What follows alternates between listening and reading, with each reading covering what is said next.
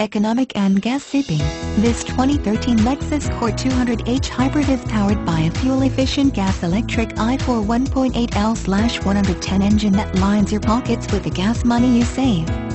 It is well equipped with the following options, water-repellent front door glass, T125-70D17 temporary spare tire, front seat belt pretensioners force limiters hot adjustable shoulder belt anchors, traction control, TRAC, smart access system keyless entry, halogen headlamps with auto on-off and auto-off delay, LED tail lamps, PWR windows incorporated, one-touch auto up-down, jam protection, front knee airbags, anchor points for child restraint seats.